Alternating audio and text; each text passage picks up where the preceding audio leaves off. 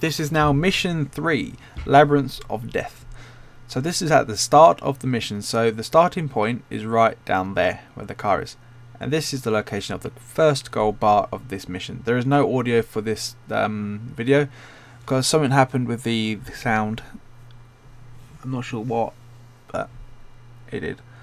So yeah, you want to head up the stairs and go across this walkway here. Take a right. Now you want to go down the set of stairs, not up. And you will find the gold bar right there. And now we're going to find the bottle from the starting location of gold bar number one. Now you want to turn around, go back up the stairs, and go up the other set of stairs. And you'll see a flame in the distance. Go towards that flame, and you'll see the bottle of blood. Right there. The next one will be gold bar number two. This will be your first safe house you'll come to.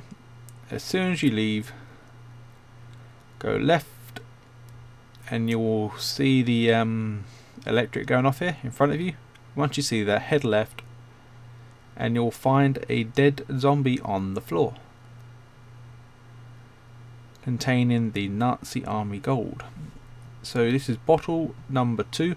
So this is when you get to your second safe room and you'll be leaving this area to go outside. There we go, we're outside now. Go up the stairs here and you will see the bottle on the right or upper right on the building on top. There we go, there it is. That's bottle number two. So gold bar number three, after you get your next checkpoint, so this is still outside, then we're going to head back inside. We couldn't head inside just yet because the door was blocked until we defeated all the zombies. So as soon as you head through the door, head right and follow the path around until you get to the door.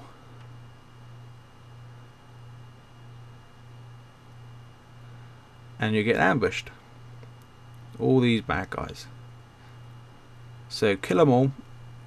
Then once you head back in there, you will find the gold bar on the right hand side as soon as you enter.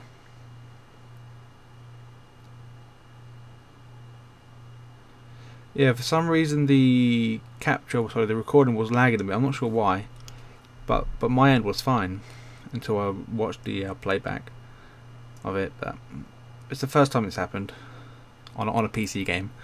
Anyway, it's the first time it happened. So once you get to the uh, the smiley face door, the safe room, but don't enter it. Look on the right hand side. This is pretty well hidden, to be honest. Really well hidden, and you will find the bottle right there. The smiley face. Now head towards the smiley face and continue on. Okay, this is the bridge where you will encounter your first um, heavy Nazi. You want to call it big dude, you have to shoot in the head for the first time on the level. And then you'll be right here with your last bottle right in front of you just underneath the light on that building. So now gold bar number okay gold bar number four start location of the bottle. So head down the stairs and also turn left. Um, okay gold bar number four will be gold bar number five I picked up on this one because I didn't find this one until last. But gold bar number 4 or 5 was closest to number 4 so I'm doing it backwards. So now head back to the starting location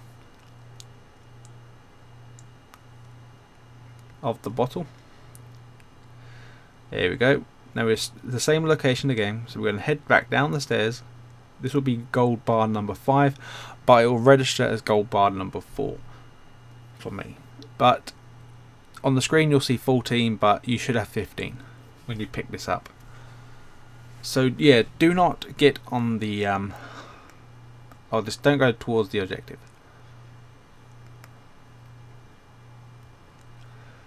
Yeah this is the area where my recording started messing up. I had no volume here. It started lagging a little bit but not much. Go through here. There's quite a ways away this one, but just keep going on. Go to the far end till you can't go no more, and underneath the light, oh, shining bright on the floor, is the gold bar number 15. Don't um look at that counter. It's wrong.